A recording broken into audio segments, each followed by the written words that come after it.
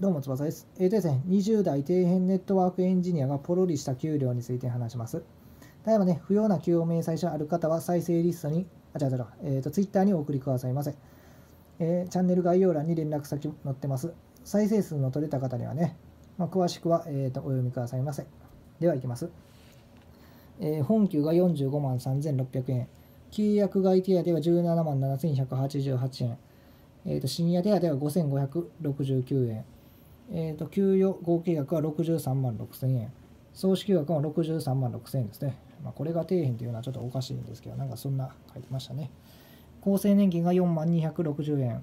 社会保険料が6万3949円。課税対象額が57万2408円。差し引き支給額が、銀行振込は53万942円ですね。